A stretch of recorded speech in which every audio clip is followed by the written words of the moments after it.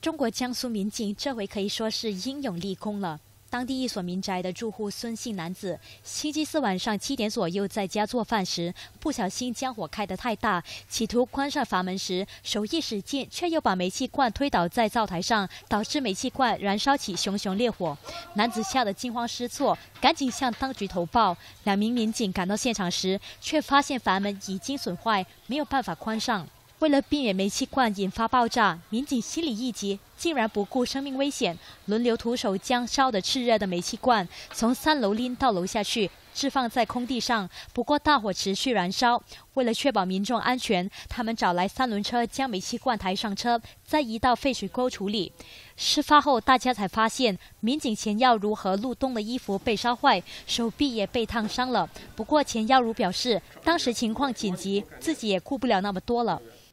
当时也没有其他反应时间，就立即决定拽住那个煤气罐的罐口，把它先给拖到这个楼道内。但是拖到楼拖拖出来的过程中，明显感觉到这个这罐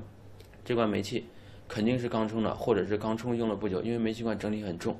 明显能感觉到里面液体流量、液体余量很大。我们用湿毛巾这个捂住口鼻，然后先进到室内，发现这个现场着火点、着火源就是这个厨房内使用的一个煤气罐，家用煤气罐。